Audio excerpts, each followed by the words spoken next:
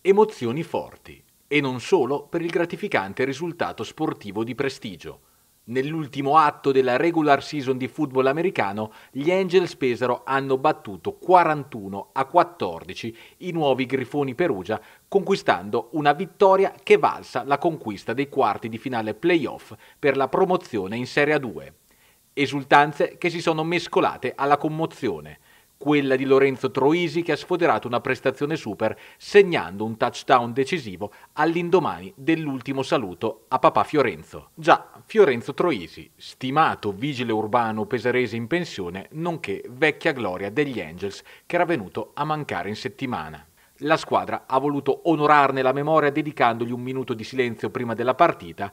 Il figlio Lorenzo ha fatto molto di più, solcando la svolta del match col terzo touchdown di partita, seguito a quelli di Calaf e Marinelli che hanno mandato gli Angels al riposo sul 21 a 7.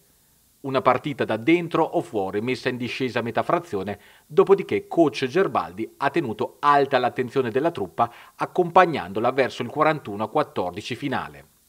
Tra due settimane si disputeranno i quarti di finale.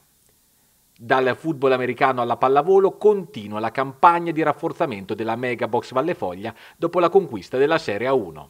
La società del presidente Angeli ha annunciato oggi l'ingaggio della 35enne schiacciatrice cubana Kenya Carcasses, atleta duttile e di grande esperienza che conosce già il campionato italiano avendo militato a Casalmaggiore e Perugia.